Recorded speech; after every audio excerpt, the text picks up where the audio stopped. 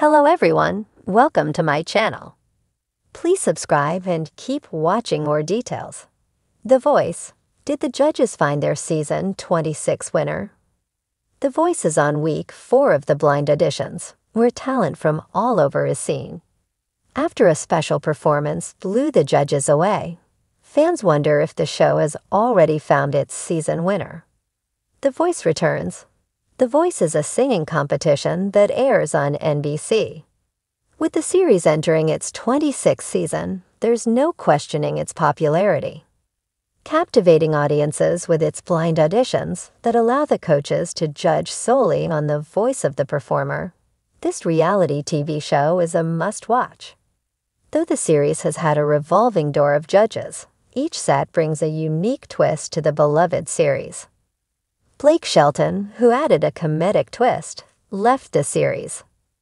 Additionally, John Legend is taking a break to allow other coaches to step forward so he can focus on his career with music and tours. Season 26 shows a nice balance between two returning and two new judges. Returning to their chairs are Reba McEntire and Gwen Stefani.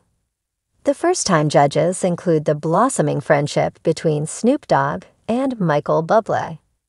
The series is seeing some impressive talent that calls for strategy if the coaches want a chance to beat the other teams. Reba McEntire is not taking any chances as she has already used her replay button and block against Snoop Dogg. The replay button allows a coach to turn their chair even after the performance has ended. A four chair turn This entire stole Snoop's chances of claiming a talented performer in the Tuesday night episode. Gabrielle Zabosky sang Mr. Know It All for her blind audition, which led to a four chair turn and a debate on whether or not the coaches had just found their winner of season 26. Unfortunately for Snoop, his chances of having the performer on his team did not rest on Gabrielle's decision as this was the moment McEntire used her block button on him. After the performance, the judges gave the performer compliments and critiques. After all, it seems they want to give her the tools to take it all the way. Furthermore, McEntire referred to Gabrielle as adorable and expressed that she would love to have you on my team. However, she seemed to believe that the singer needed some refining for her to get to where they all wanted her to be. In addition, McEntire knew Gabrielle had talent, but believed she needed guidance to use her power and gift effectively.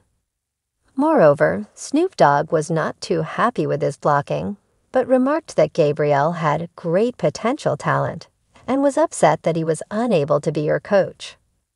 Gabrielle was making jokes a lot, which encouraged Snoop to repeatedly say, I like her spirit. A difficult decision, Additionally, Stefani believed the girl was a diamond in the rough and believed she could help the star cultivate her talent to get her to be the best she could be, as there were times when her performance seemed to be too much, while other times it was beautiful. In addition, Bublé asks if the performer is nervous, to which she responds, ah, duh. The coach made a joke that he was from the Titanic perhaps in an attempt to convince the girl to join his team. Snoop gave him a yellow flag on the play for impersonating Leonardo DiCaprio. With the performer's attitude, she could make great things happen for herself. After asking the audience, she finally made her decision and picked Stefani as her the voice coach. Stefani seemed to be surprised as she kept repeating, What me?